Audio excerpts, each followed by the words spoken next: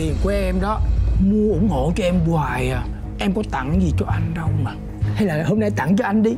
Anh đang rảnh nè. Thôi bữa sau đi? Đèn tới tháng. Cái này là cái gì? Cái này không nào? tôi mới thấy hai người ôm nhau nè. Ốm đó mà ốm dạ dạ đâu có đâu Bà- gì gì nhìn lầm rồi? Đúng rồi đó bà nhìn lầm rồi. Cái này á là tôi mua đá tôi tặng cho bà nè. Chứ ai làm gì đâu cái cô này á là cổ cổ bán đá quý đó. Tụi tôi ngồi sát với nhau là để coi đá cho nó kỹ đó. Nè tặng cho bà nè. Ông mua cái này cho tôi thiệt ừ thiệt mà. Đây nè bà coi kỹ đi. Đẹp không? Không rõ tại tôi thấy hai người ngồi sát sát vô tôi tưởng. Ờ, dạ dạ không có gì đâu. Ờ, nếu mà xong việc rồi thưa chú con về thưa gì con về nha. Cho cô xin lỗi nha. Dạ dạ. Đi đẹp không? Coi không? Đó đẹp đúng là đồ ngu ba cái hẹn pha kè mà nhìn cũng không ra đúng là có tiền chưa chắc đã là quý tộc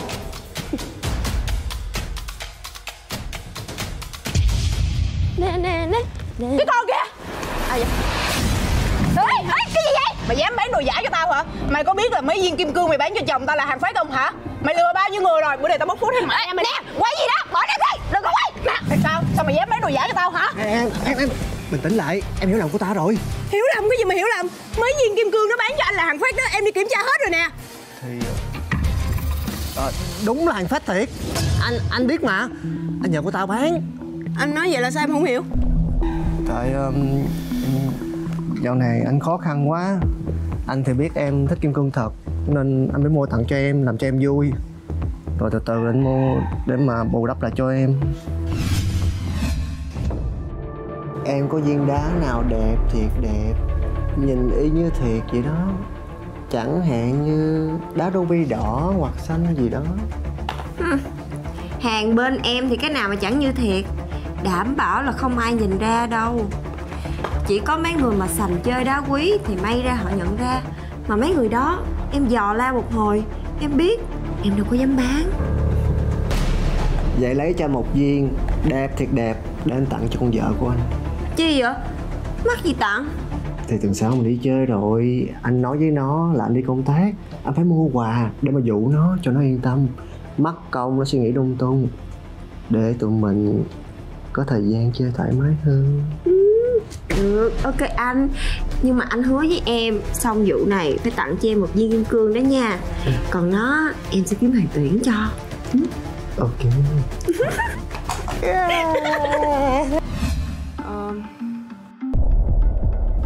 Em xin lỗi. Em ờ, đâu có biết là giai đoạn này công ty khó khăn tới mức như vậy. Nhưng mà anh cũng đâu có cần phải mua kim cương giả để tặng cho em. Đúng là em rất thích đá quý. Nhưng mà khi nào anh có thì anh tặng cũng được mà Anh đâu cần phải làm như vậy đâu. Anh mới là người xin lỗi em mới đúng. Thôi mình đừng làm phiền người ta nữa. Mình đi về em. Tôi xin lỗi cô nha. Tôi... tôi xin lỗi chị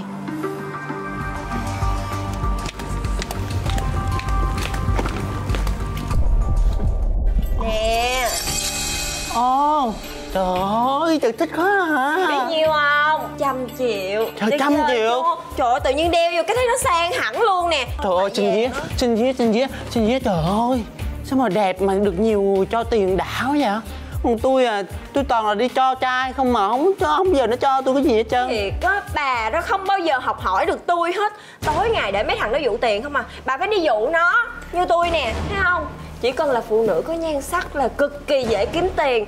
Tôi chỉ cần dùng cái nhan sắc của tôi một chút thôi là lừa được bao nhiêu cái thằng ngu rồi. Trời đã vậy nha tôi còn suối mấy ổng về bỏ vợ lừa tiền mấy thằng trả cái mồm nữa.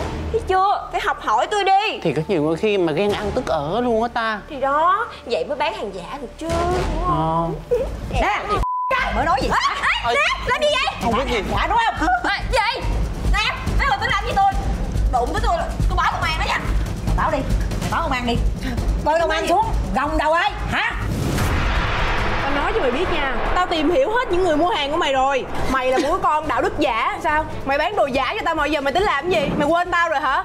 Ngoài việc bán đồ giả Mày còn qua lại rất nhiều đàn ông trong đó có chồng của tao nữa. Mà tao thắc mắc nha Tại sao mày bán đồ giả cho tao mà chồng tao có một mực binh mày hoài? Thì ra là mày gian díu với chồng tao đúng không? Mày nói gian díu! tao bao lâu rồi? Nè Nè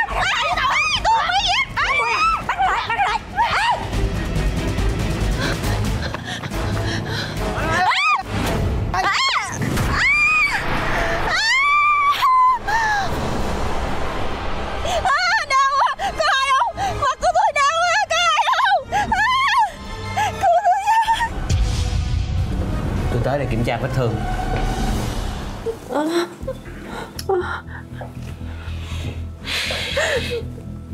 Bác sĩ ơi Vết thương của tôi sao rồi bác sĩ? Nó nó có nghiêm trọng lắm không? Nó có để lại sẹo không bác sĩ? Nếu cô có điều kiện á thì nên kiên trì để điều trị. Mà tôi nói trước cũng không cải thiện được mấy đâu. Với lại cô nhớ giữ gìn cho kỹ để tránh thẹo xấu đi đi trước. Mắt, mắt mình có sẹo. Hả Mình bị sẹo. Bị sẹo rồi làm sao mà dùng nhan sắc kiếm tiền được nữa. Anh Toàn ơi. Anh có mua quà cho em nè. Em sao rồi? Bác sĩ nói là có khả năng là em bị sẹo đó. Anh ơi em đau quá. Bình tĩnh. Để anh coi coi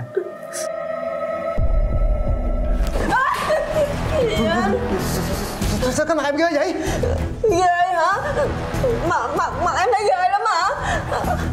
À, Anh ơi Bác sĩ nói đó là, là có khả năng em bị sẹo đó. Anh ơi anh, anh giúp em nha. Anh ở bên cạnh em nha. À, em bình tĩnh nha. Ờ, anh có một quà cho em nè. Em, em đáng nghỉ ngơi nha. Anh công việc đột xuất anh phải đi rồi. Anh ơi anh đừng có đi mà. Em sợ lắm anh ơi. Anh đừng có bỏ em mà. Anh ơi em sợ lắm. Anh có việc phải đi rồi buông anh đá Anh ơi anh đừng có đi mà. Xin anh. Đừng có bỏ em mà. Ủa đó buông ra. Cô làm gì vậy? Bây giờ anh thấy tôi xấu xí rồi. Anh ruộng bỏ tôi đúng không? Đúng rồi đó ngay cả chính bản thân của cô nhìn cô còn thấy sợ không chỉ là tôi. Tôi nói cho cô biết tôi cấm cô làm phiền tới tôi. Cấm cô quậy gia đình của tôi nghe chưa? Nếu không á không tha cho cô đâu.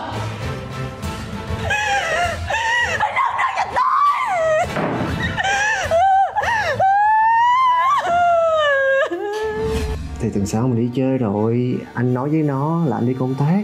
Anh phải mua quà để mà dụ nó cho nó yên tâm mất công nó suy nghĩ lung tung. Để tụi mình có thời gian chơi thoải mái hơn. Ngoài việc bán đồ giả Mà còn qua lại rất nhiều đàn ông trong đó có chồng của tao nữa. Mày nói Ê, làm gì? Tôi bao lâu rồi? Thôi, nè Ở đó, đây với tao Tôi không biết gì hết. Bắt lại, bắt lại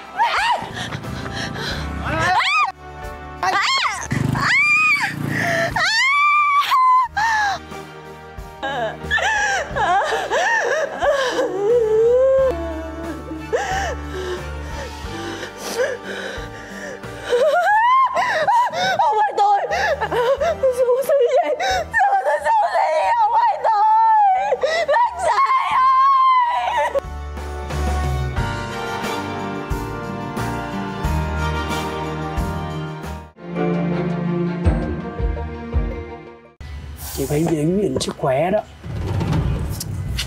Mẹ, mẹ biết giờ này mấy giờ chưa? Rồi cơm nước gì chưa ngồi để tám chuyện nữa.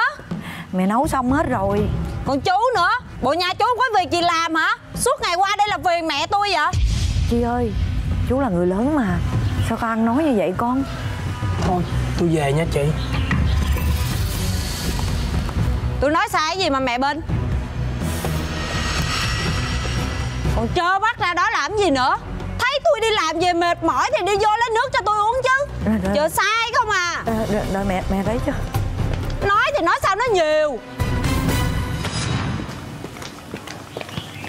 Nước nè con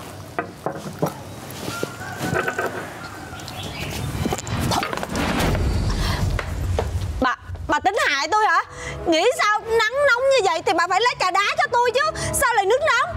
Bà, bà chơi tôi đúng không? Không phải Mẹ thấy mỗi ngày con cũng hay uống Nước trà mẹ nấu Hôm nay bà dám trả treo với tôi hả? Mẹ không có cố ý đâu Mẹ xin lỗi con Có chuyện gì ồn ào vậy? Sao vậy em? Mới về em? Anh hỏi mẹ anh đi Sao mẹ? à, Tại vì Chi nó nói mà mẹ nghe không có rõ Là chuyện gì? Nghĩ sao trời nắng nóng như vậy nè Tôi đi làm về rất là mệt Kêu á lấy giùm ly nước Bưng ra ly trà nóng không nói. Phỏng hết miệng rồi nè. Trời ơi tụi em. Mẹ thiệt luôn đó nha. Mẹ ở nhà có làm gì nhiều việc đâu hả? Ăn ở không không à. Vợ chồng con nuôi. Vậy mà có xíu việc làm cũng không được. Đó là mẹ chồng người ta Là con dâu về. Ờ ờ. Con có mệt không? Con muốn ăn cái gì? Ờ con có đau không? Con Mẹ đấm bóp cho. Đằng này thì ít nói. Mẹ nghe chồng tôi nói chưa? Biết điều một xíu đi. Thôi em Đây, vô vô đi. À, bước bước nè bước nè nha. Vô em. Đây vô. Có miệng có sao không? Vô ăn thật sen nha.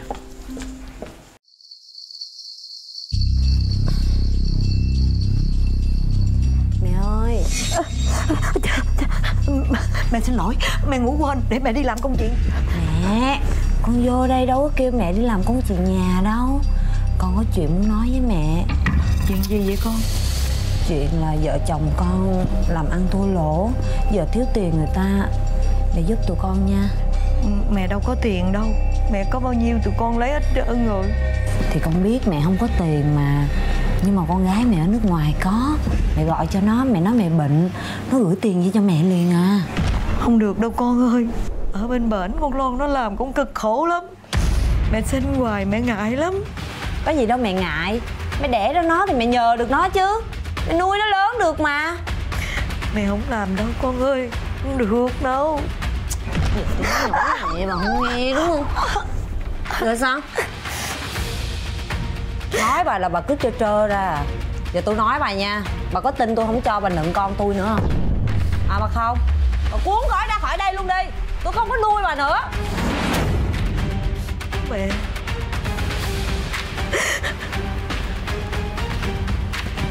Nói chuyện cho đàng hoàng vô. Ủa mẹ gọi con hả mẹ? Có chuyện gì không mẹ? À, à, Con ơi Mẹ bị bệnh quá. Nếu được á, Con gửi cho mẹ ít tiền về mẹ mua thuốc nghe Trời mẹ có sao không? Để con gọi cho chị hai đưa mẹ đi bệnh viện nha. Chị nghe nè Út.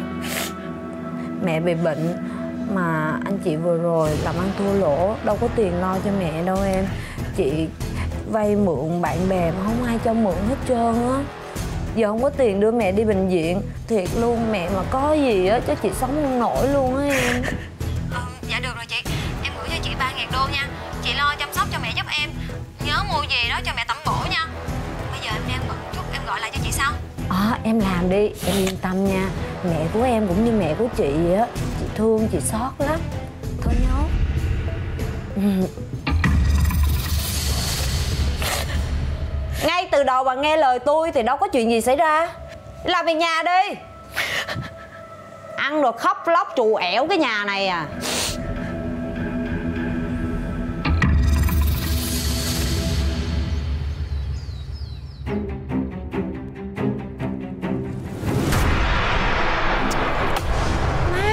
thiệt chứ. Theo con năm hai bữa giờ Mà nó ra năm ba năm mốt cái đầu.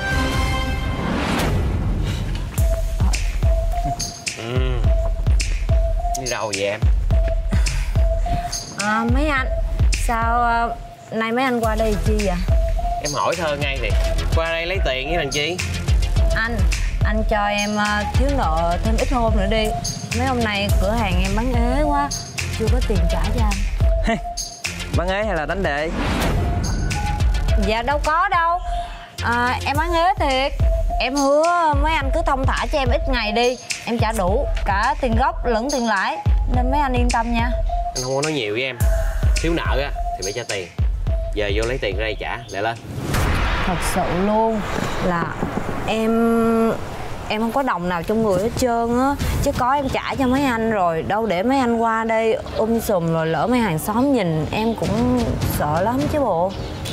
Mấy cái bài này á, nghe quen quá rồi. Thôi giờ không có nói nhiều. Ba ngày nữa anh tới xiết nhà, Em liệu mà tính đi. Sổ hồng á, Thì anh đang giữ rồi. Còn em mà chống đối á, Anh xử cả nhà em luôn Em biết lực mà đúng không? Chào anh.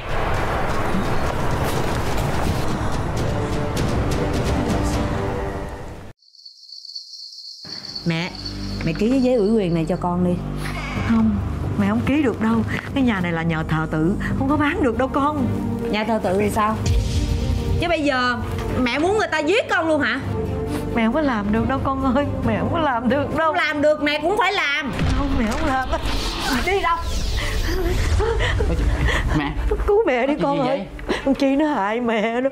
Chi, chi là đứng im đó. Con chuyện gì tôi phải bán căn nhà này. Bây giờ tụi giang hồ nó đang dí tôi nó muốn giết tôi đó. Anh muốn tôi chết anh mới vừa lòng đúng không? Em ơi Có gì từ từ nói mình còn nhiều cách mà. Hết cách rồi. Giờ sao? Tới đây.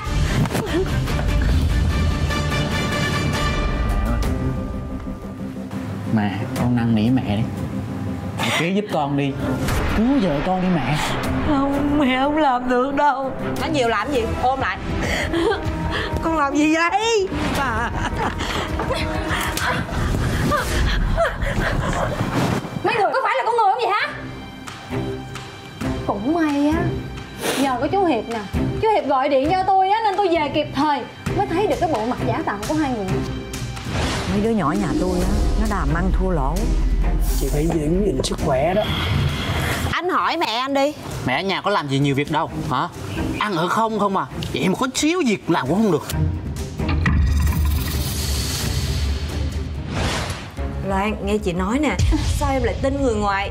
Chị chị là chị với anh là người trong nhà mà. Loan ơi Với lại em sẵn em về đây em giúp anh chị đi. Anh chị bây giờ đang nợ nần rất là nhiều. Giang hồ đang dí anh chị. Giết anh chị đó Loan. C -c Cứu anh đi em. Anh im Bây giờ con còn dám lên tiếng nữa đó hả? Còn anh á Anh là một thằng đàn ông nhu nhược ngu si. Anh nghĩ sao vậy Anh nghĩ sao mà để cho vợ mình hành hả mẹ? Hả? Tôi sẽ báo công an vì cái tội hai người dám hành hạ người khác sẽ không có một xu nào trong căn nhà này đâu. Là... Mẹ. Nên nhớ Ông trời sẽ không tha cho hai người đâu nè? Không phải vậy đâu Loan. Mẹ Nói gì đi mẹ? Mẹ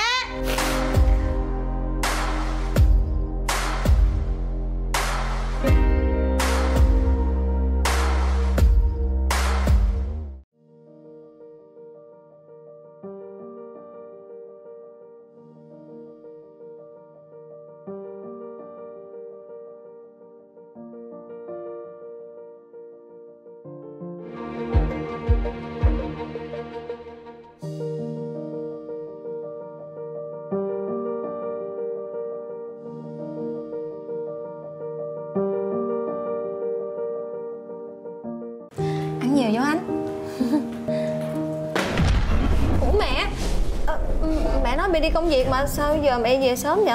Nhà của tôi Tôi muốn về đi đi là chuyện của tôi. Nhờ tôi về như vậy á Tôi mới thấy cô á Dẫn cái thứ nghèo sát sơ này về đây. Mẹ sao mẹ nói kỳ vậy? Nói sao kỳ? Nói không đúng hả? Con nhìn đi. Đồ cái thứ hả? Đàn ông mà ăn bám phụ nữ. Không có tốt lành gì đâu. Cô ơi Đúng là con nghèo thiệt. Nhưng mà cô đừng xúc phạm con. Cô nói như vậy là nặng lời quá rồi Tôi nói như vậy là còn nhẹ đó. Bây giờ làm sao? Cậu còn ở đó trả đeo với tôi nữa hả? Cậu muốn làm sao hả? Mẹ Sao, sao vậy con? Em em có sao không? Thưa cô con về. Cậu đứng lại đó. Tôi chưa nói hết mà. Ừ, Con ơi Con có sao không vậy? Mẹ Mẹ thôi đi Anh Định á, ảnh là bạn trai của con mà. Sao mẹ cứ nói nặng lời với ảnh Xem thường ảnh hoài vậy? Mẹ nói như vậy là còn nhẹ đó. Con thấy đi Tới cái bữa ăn mà con còn phải lo cho nó. Rồi nó cưới con về Làm sao mà nó lo cho con được? Bây giờ ảnh đang khó khăn thôi.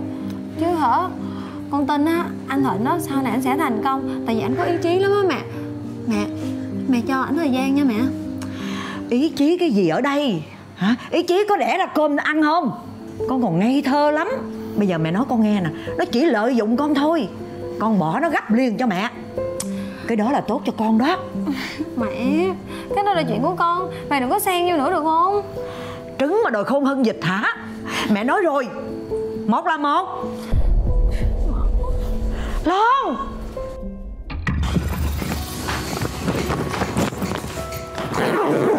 Anh Thịnh Nghỉ tay ăn cơm đi Em nấu toàn món anh thích không á?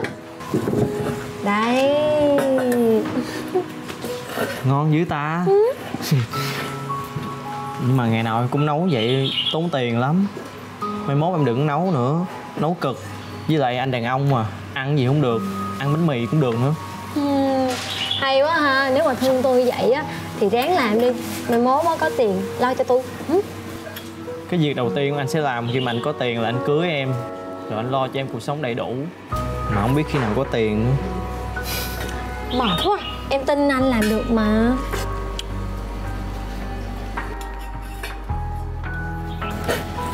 Nhưng mà em đâu có chờ anh hoài được.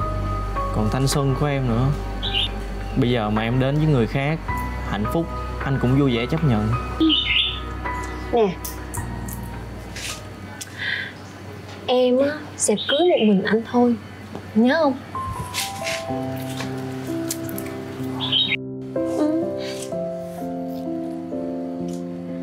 Làm gì vậy? Em sẽ làm những cho anh. Xem như á cái này là đính ước của hai đứa mình. Em đợi anh bao lâu cũng được hết á. Chỉ cần em cố gắng thôi. Nhưng mà em tin anh sẽ làm được. À, nếu lỡ như mà không làm được á thì mình có cháo ăn cháo? Có cơm ăn cơm miễn sai mình hạnh phúc là được. Hả? Nghe đưa tay đây cho em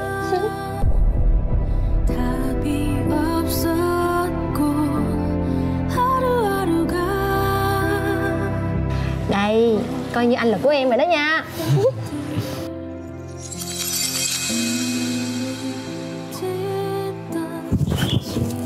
Cái gì vậy?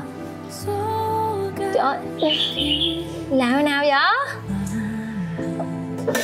Rồi của anh đâu. Sao anh không lấy đeo luôn đi? Của anh anh cất rồi. Anh đeo cái này đẹp hơn. Cảm ơn em. Cảm ơn em đã tin tưởng. Và chờ anh. Anh sẽ cố gắng hết sức. Em tin anh mà. Thôi ăn đi. Để nguội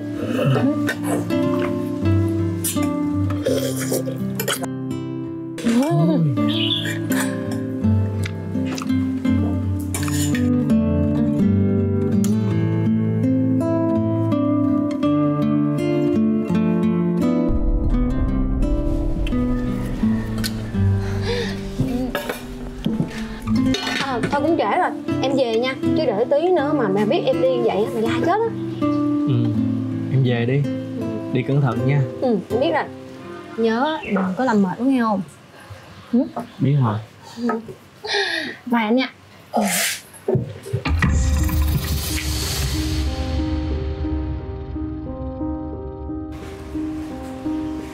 Cậu Thịnh Cậu ngồi xuống đó đi. Tôi có chuyện muốn nói với cậu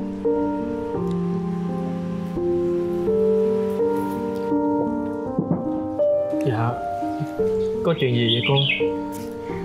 Ừ, Có một chuyện tôi muốn nói với cậu. Là con Lon á Nó bị bệnh tim bẩm sinh từ nhỏ. Nên sức khỏe nó rất là yếu. Cô nói thật hả? Sao loan không nói gì với con hết vậy? Tại con Lon nó sợ cậu lo. Còn một điều này nữa Bác sĩ nói á Là con Lon không thể có con. Nếu nó mang thai á Thì ảnh hưởng đến tánh mạng của nó. Cô ơi con không cần loan sinh con cho con đâu. Điều quan trọng là con cần loan thôi à Tại vì sự việc chưa có xảy ra Nên cậu nói như vậy. Chứ đến một lúc nào đó Cậu chán Rồi cậu bỏ nó. Cậu nghĩ đi Nó có thể vượt qua khó khăn này không? Cô. Trong khi sức khỏe của nó Thì không có như người ta. Cô ơi con không phải là người như vậy đâu cô con thương loan thật lòng mà cô Nhưng mà có cái chuyện này còn quan trọng hơn. Cậu thấy đó, Gia đình tôi á, Thì cũng không khá giả gì. Còn cậu á, Thì cũng khó khăn. Liệu hai đứa lấy nhau á, Rồi lấy cái gì trị bệnh, Tiền bạc đâu. Trong khi bản thân cậu á, Còn nuôi không nổi cậu nữa. Cậu thương nó Thì cậu phải biết nghĩ cho nó. Nó mang bệnh tật như vậy là quá đủ rồi.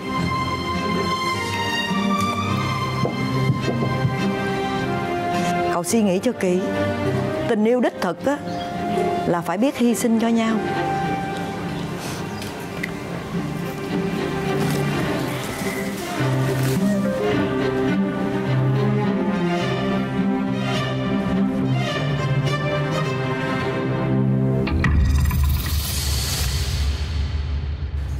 Làm cái gì mà mấy bữa nay mình tìm thịnh hoài không được ta? Không biết có chuyện gì không nữa.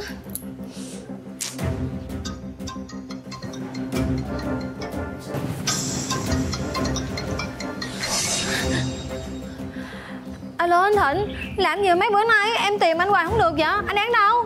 Anh với em không hợp với nhau đâu. Mình chia tay đi. Anh sẽ đi hợp tác lao động ở nước ngoài. Em ở đây kiếm người khác. Tốt hơn anh nha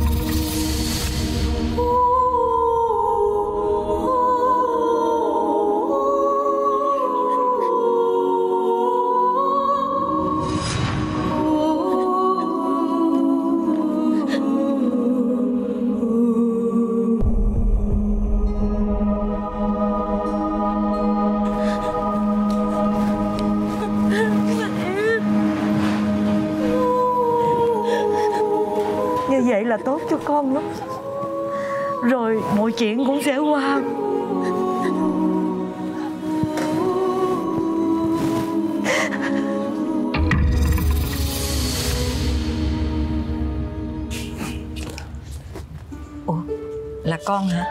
Con chào cô. Cô khỏe không? Con mới về nước hả? Dạ Con mới về. Bây giờ con thành công Con có sự nghiệp rồi.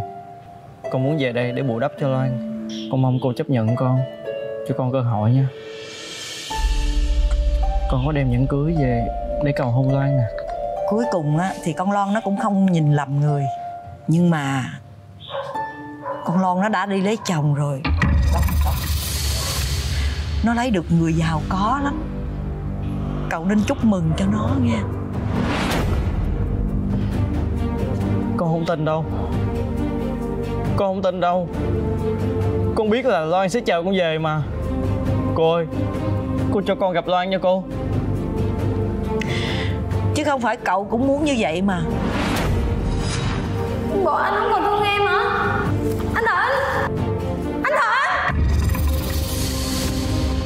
Cậu muốn nó được hạnh phúc. Bây giờ cậu đi về đi. Gián đã đóng thuyền rồi. Con năn nỉ cô. Cô cho con gặp Loan đi cô. Loan ơi Loan. Loan. Nói chuyện với anh đi em. Loan. Cậu đi về đi. Loan ơi Anh muốn nói chuyện với em Loan ơi. Loan ơi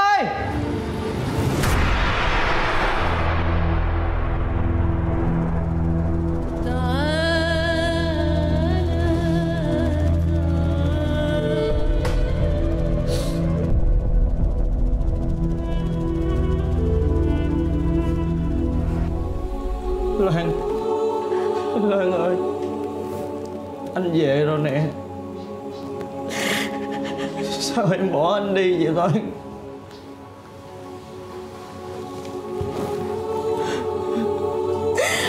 Em hứa em sẽ ở bên cạnh anh, Chăm sóc cho anh mà. Bây giờ anh thành công, anh có sự nghiệp rồi. Không còn em nữa.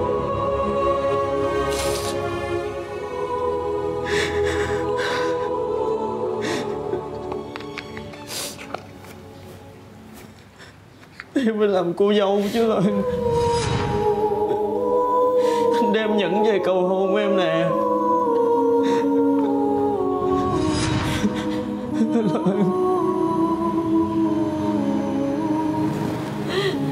Từ ngày con đi nước ngoài, Con luôn nó suy sụp. Ngày nào nó cũng ra trước ngõ nó đợi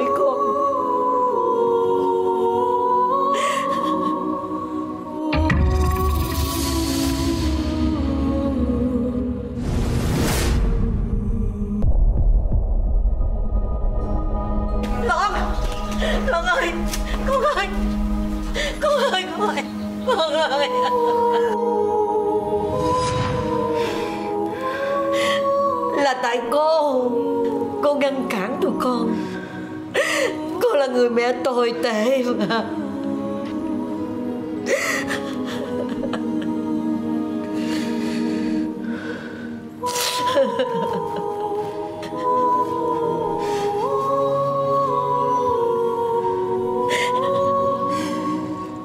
Cô không có lỗi gì hết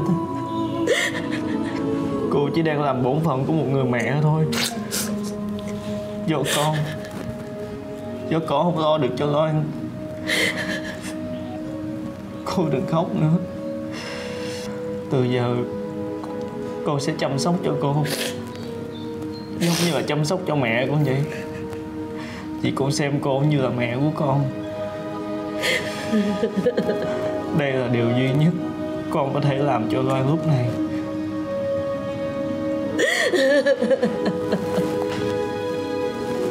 Ha ha ha ha. Ha